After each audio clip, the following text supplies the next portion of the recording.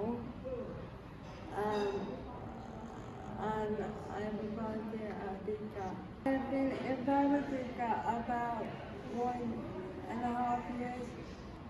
And Bika means that I'm able to support children and um, people in the community and it allows me to connect with other people and to see that I'm uh, approachable and it also brings awareness about how uh, wheelchair users can be part of society.